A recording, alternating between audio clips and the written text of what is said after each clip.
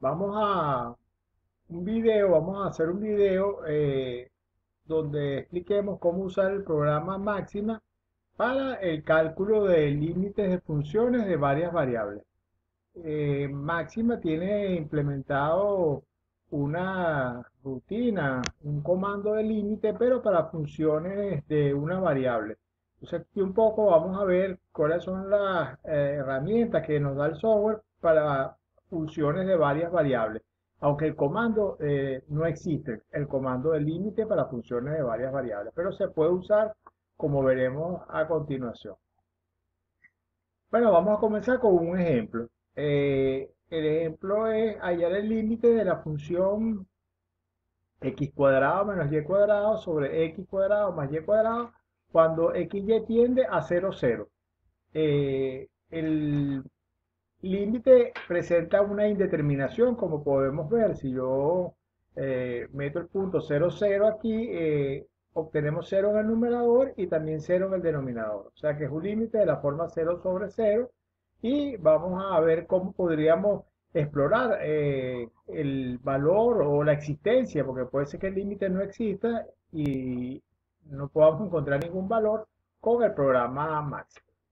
Vamos a usar la técnica de los caminos para ver eh, qué es lo que ocurre con, este, con este límite. Entonces, bueno, lo primero que está arriba eh, es un comentario. Entonces, para escribir un comentario en máxima y ver qué es lo que estamos haciendo, eh, siempre es útil escribir los comentarios, sobre todo si uno va a presentar el trabajo, para que se entienda de qué, de qué trata el comando o lo que se hace después es vamos a usar máxima para evaluar límites.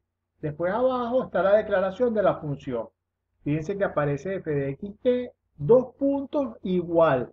Tienen que escribir igual no basta, tienen que escribir dos puntos igual la función que definimos anteriormente y cerrarlo con un punto y coma. Lo pueden cerrar como siempre y después da mayúscula enter o con el símbolo de dólar que cuando le den mayúscula enter él no va a devolver nada, pero él carga que esa es la función con la cual uno va a trabajar. Entonces, yo chequeo aquí, la siguiente línea es lo que uno siempre tiene que hacer cuando uno quiere calcular un límite, que es evaluar la función en el punto dado. En este caso, el punto es el punto 00 y la función nos devuelve un error. Entonces, el error es claro por tener una indeterminación, pues el programa al meter 0, 0 no consigue un valor numérico de la expresión y nos da un error acá, que lo vemos aquí en este comentario en negro. Ok, pero después chequeo que, que la función está bien definida, por si acaso. Entonces la evalúo en 2, 2. Al evaluarlo en 2, 2 me queda 4 eh, menos 4, eso es 0 en el numerador y 8 en el denominador. Entonces 0 sobre 8 es efectivamente 0. Después puse otro puntico acá 3, 2, si yo meto 3, 2 me queda 9 menos 4 que es 5 y abajo nos queda 4 más 9, 13. Entonces, bueno, la, la, función está bien definida, lo chequeamos aquí con este par de ejemplos para ver si podemos seguir trabajando. Ok, una vez que hemos definido nuestra función, vamos a usar la técnica de los caminos. Entonces yo voy a tomar caminos que van al 0, 0, voy a evaluar la función en esos caminos y voy a aproximarme al origen de coordenadas. Entonces, fíjense que si yo tomo un haz de rectas de este tipo, eh, estas rectas son de la forma, si ustedes piensan un poco, como y es m por t y t es x, son de la forma y igual a mx. O sea que son rectas que están pasando por el origen de coordenadas y tomo el parámetro t entre 0 y 1 y m un parámetro real, es la pendiente de la recta, pues yo estoy tomando muchísimas rectas. Y eh, pienso que el t se está yendo a 0. Entonces, si el t se va a 0, el x se va a 0 y el y simultáneamente se va a 0. Entonces, las rectas se aproximan todas al origen de coordenadas cuando yo tomo t tendiendo a 0. Aquí, aquí hice un dibujo con el programa máxima, no de las completos, eh, sino de algunas rectas que están en el A, vemos las rectas pasando por el origen de coordenadas. Entonces la idea es que yo me estoy montando en estas rectas y me estoy acercando por ellas al punto 0, 0, tomando los valores del parámetro t cada vez más pequeños. Entonces aquí les hago otro comentario que voy a evaluar f en las rectas de la. Las rectas de la son de la forma x igual t, y igual a mt. Entonces, por ejemplo, tomé m igual a 1. Entonces yo veo f de t, t. Entonces esta es la recta, la famosísima recta identidad. Creo que es la verde que está aquí en el dibujo. Entonces si yo meto el, esa recta dentro de la función, me devuelve 0. Aquí tomé otra recta con pendiente 2. Esta es una recta con pendiente 2. ¿Cómo lo sé? Bueno, porque x es t y y es igual a 2t. Entonces y es igual a 2x.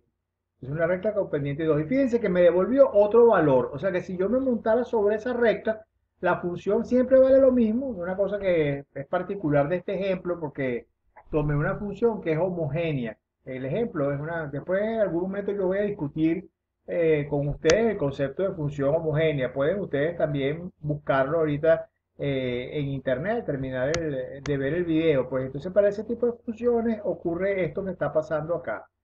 Eh, que la función sobre esas rectas va a valer una constante. Pero bueno, al valer constantes distintas ya yo sé que por caminos distintos los valores de la función son diferentes y es imposible que el valor límite exista. Porque si el límite existe, al aproximarme, aproximarme al origen por cualquier recta, el valor debiera ser el mismo valor. Entonces el programa máxima, fíjense que de manera bastante sencilla me permite concluir que en este caso el límite no existe.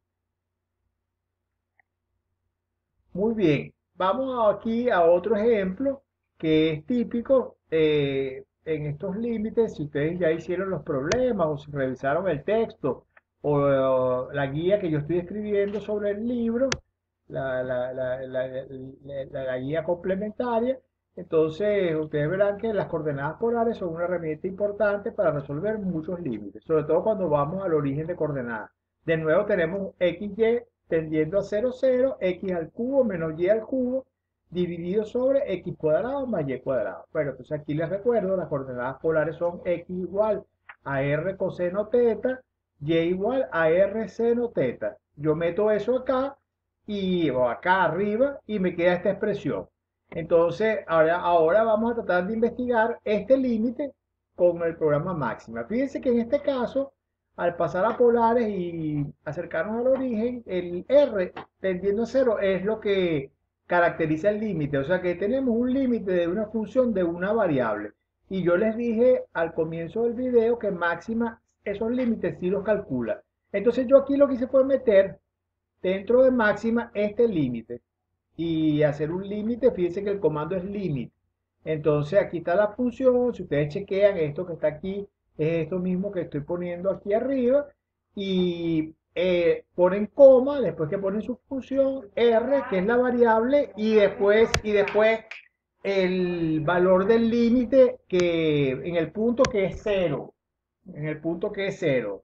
Entonces, el, programa enseguida, cuando ustedes hacen eso, me devuelve el valor cero y entonces el límite existe. Entonces, otra forma de hacer el problema es usar el teorema del sándwich, pero eso sería una forma como más teórica y no usaríamos el programa máxima, que es lo que estamos tratando de hacer acá. Lo dejo como un ejercicio, como un problema, como aplicando el teorema del sándwich ustedes podrían conseguir que el valor del límite es cero. Fíjense que una pista para este tipo de límites, cuando vienen así, bueno, si aparecen estas expresiones como x cuadrado más y cuadrado, eh, casi siempre es bueno usar polares, eh, pero aquí lo importante es que el grado del numerador es 3 y el grado del denominador es 2. Y cuando eso ocurre, usualmente el valor del límite sí va a existir. Cuando el grado del numerador es más grande que el del denominador, si nos aproximamos al, al origen, esos límites usualmente van a dar cero. Aunque bueno, a mí no me gusta dar reglas así, o sea, pero, pero es como una orientación cuando uno tiene algo de ese tipo. Creo que vamos a ver un ejemplo más. Ok, entonces ah, vamos a hallar este límite. El límite cuando xy tiende a menos 1, 1 de x más y cuadrado sobre x al cubo más y cuadrado. Entonces, si yo chequeo y meto el valor menos 1, 1, pero después yo lo voy a hacer acá, eh, eh, vamos a obtener de nuevo 0 sobre 0. hay una indeterminación. En este caso, para estudiarlo voy a tomar dos caminos que se aproximan al punto menos 1, 1. Uno sobre la recta esta, con esta parametrización y otro sobre una parábola, que es la parábola y igual a x cuadrado. Fíjense que si yo hago x igual a t y y igual a t cuadrado, estoy sobre esta parábola y cuando me aproxime al punto, al punto, de hecho aquí es menos 1, al punto menos 1, entonces voy a trabajar entre menos 1 y 0, cuando te tiende a menos 1, entonces eh, la parábola se aproxima al punto, pues, o sea, nos vamos aproximando al punto. Entonces aquí corrijan eso, el intervalo es menos 1, 0, donde estoy tomando mi parámetro y el t se va a menos 1. Aquí sí va entre 0 y 1 porque si me voy para 1, esto se va para menos 1 y esto se va para 1 y llego al punto donde quiero llegar. Entonces, esto está correcto todo, pero aquí mm, me equivoqué y esto, el intervalo es entre menos 1, 0. Acomódenlo acá. Ok, entonces, bueno, vamos a ver eh, cómo, cómo hacemos el problema usando máxima. Aquí primero declaramos la función de nuevo. Yo declaro mi función. Fíjense que aquí sí le puse punto y coma en vez del símbolo de dólar y eh, me queda mi función, la vemos explícitamente, pues la diferencia en el, la, de la otra forma, uno carga la función, pero no ve, no ve la misma en la línea de comando como aparece acá. Entonces, una vez que la cargué, evalúo la misma en menos 1, 1. Aquí le pongo f, menos 1, 1. Ya ella sabe quién es f, esta cosa que está acá. Y bueno, al darle mayúscula enter, me devuelve de nuevo un error como, como tiene que ser, porque tenemos una indeterminación, el programa no sabe, si no lo sabe hacer máxima, no entiende qué es lo que es 0 sobre 0. Seguimos con nuestro ejemplo. Ahora vamos a estudiar qué es lo que pasa en los caminos. Entonces yo tomo primero el camino que era la recta, y igual a menos x. La, cargo dentro de la función, me queda f de menos t, t, esa es la, misma recta, eh, y defino una nueva función define una nueva función que depende solo de t. Esa nueva función está dada por el valor de f en el, en el camino s menos t de t.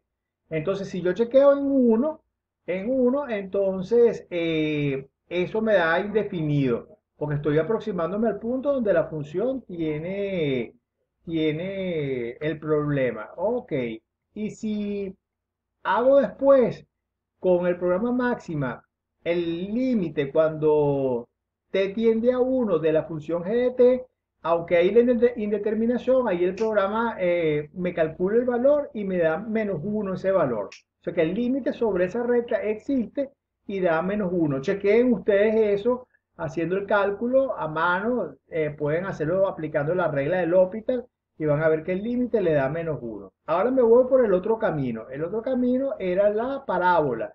Entonces, al cargar la parábola, yo tengo que poner dentro de la f t y t cuadrado, porque es la parábola y igual a x cuadrado.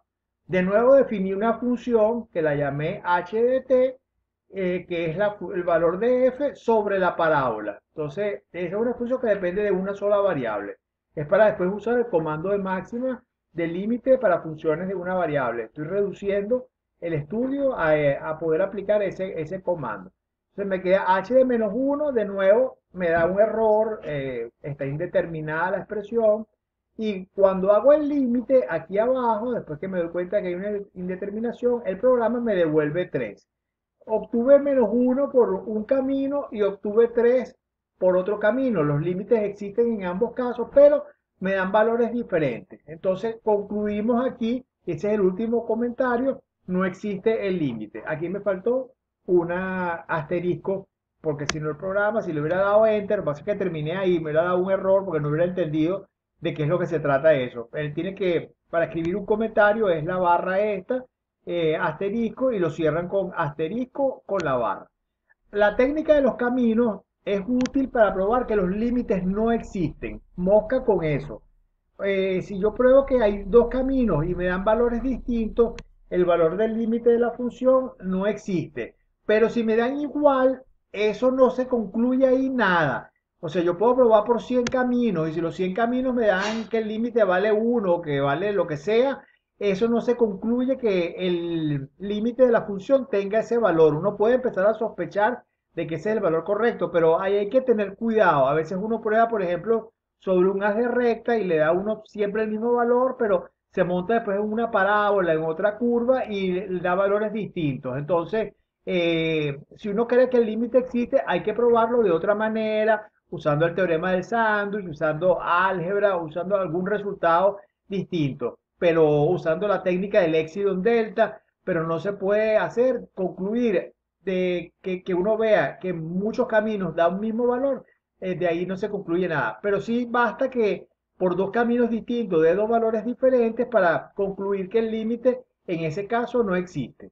Bueno, estamos terminando nuestro video. Eh, espero que les sea útil para la resolución de problemas, de este tipo de problemas de límites y que ustedes mismos exploren la posibilidad de usar máxima para eh, ayudarse en su trabajo. Eh, cuídense mucho con la epidemia esta y nos vemos en una próxima oportunidad. Hasta entonces.